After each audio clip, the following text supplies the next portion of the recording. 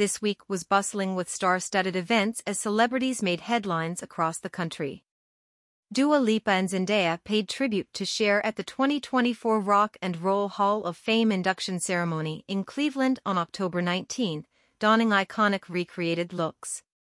Meanwhile, Kim Kardashian and Kylie Jenner dazzled at the 2024 Academy Museum of Motion Pictures Gala in Los Angeles, wearing vintage Thierry Mugler designs.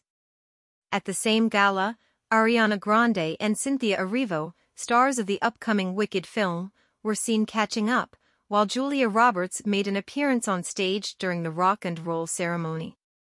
Selena Gomez showcased elegance in an Alaïa gown, and Rooney Mara received assistance with her dress from partner Joaquin Phoenix.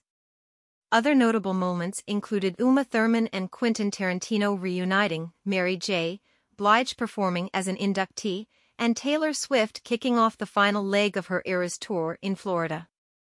Fans also spotted stars like Blake Lively, Ewan McGregor, and Anne Hathaway out and about, highlighting a week filled with glitz and glamour in Hollywood.